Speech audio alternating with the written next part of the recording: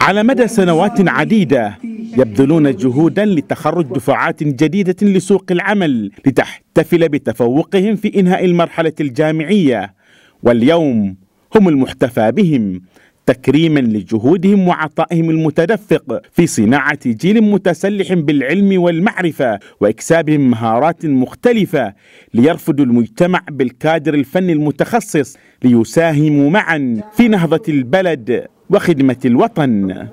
وهدفنا من هذا التكريم كجمعية هي تحفيز وتحصيل آه، دعم وتحفيز التحصيل العلمي والنشاطات البحثية والعلمية لما فيه النهوض بالوطن والمجتمع.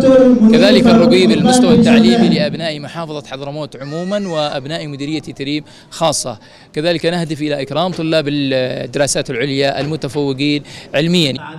أكثر من 100 كادر من حملة شهادة الدكتوراه من أبناء مدينة تريم احتفت بهم مؤسسة سواعد للتنمية.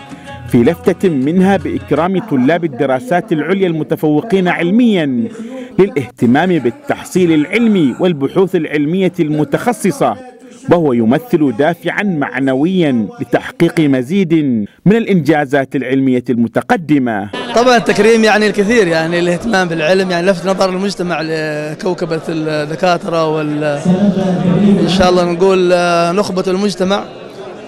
ويعطي صدى لتاريخ تريم العلمي واحتفائها بالعلم دائما وتميزها عبر التاريخ. إن شاء الله هذه الرسالة مستمرة.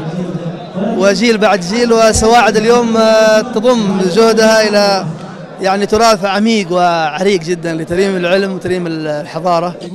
ومع ارتفاع أعداد الحاصلين على الشهادات العليا إلا أن هناك ندرة في عملية استيعابهم واحتوائهم في الجامعات اليمنية المختلفة.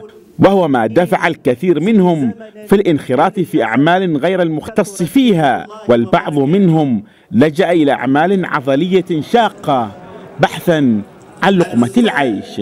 نجد هناك يعني لم يستوعبوا هؤلاء الخريجين من دكاترة وتخصصات متعددة في مختلف المجالات لكن للأسف الشديد ما لم يستوعبوا إلى اليوم في سلك التوظيف في الجامعات.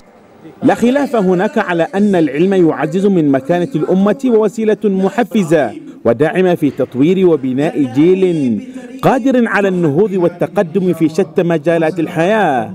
لكن هناك من يسعى لتجهيل المجتمع من خلال مناهج تسعى لتمجيد الأفراد لا لبناء الأوطان. فهمي برماده قناة سهيل سيئون.